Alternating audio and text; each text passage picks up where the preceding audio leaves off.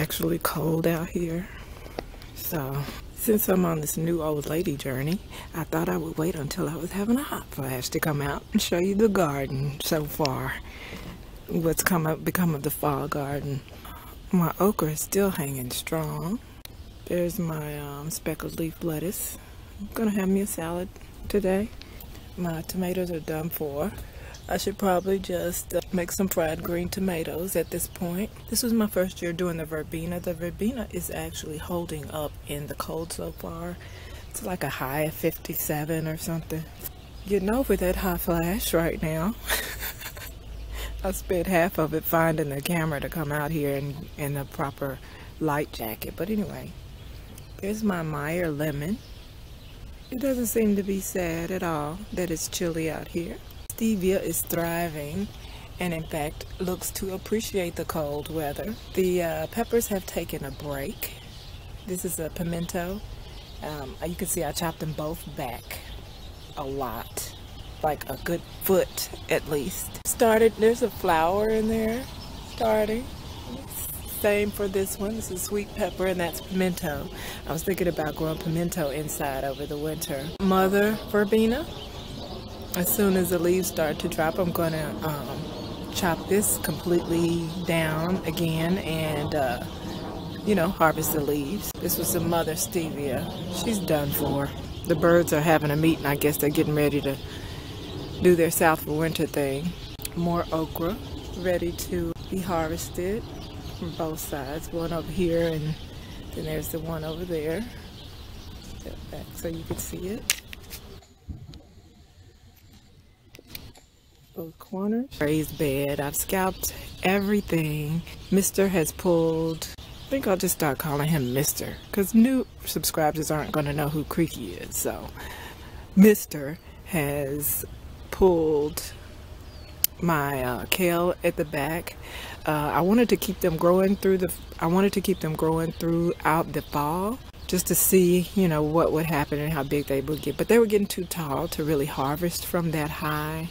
That's number two. And number one, they were being attacked like that. Uh, one was being demolished by cabbage worms. Um, once I pulled that one, they started um, getting to the rest of them. So I wound up having him pull all of them. I don't see my spinach coming up. I don't see my bok choy coming up. Hmm. I'm not sure what to make of that because it is certainly chilly enough for them them all to thrive out here. My um.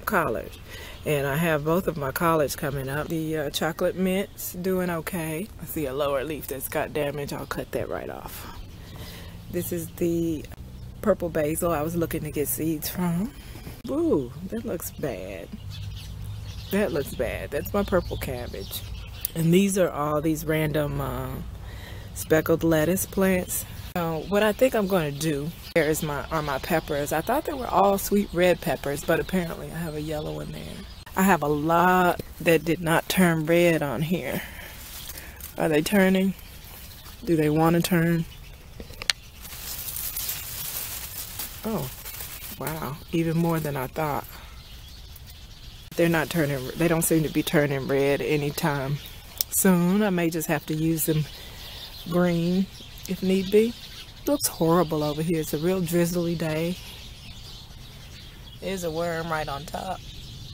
Hey, boo. Yeah, I think I'm just going to start a whole new slew of purple cabbage to plant over here. A succession of harvests. So this whole patch over here looks terrible, but if I time it properly, I can start them now uh, up on the deck and once they get a certain size and un you know damaged by insects and birds then I can put them over there like I want them to be. Okra still beautiful. And still producing just extremely slowly now. You can see the flowers are, have dried up.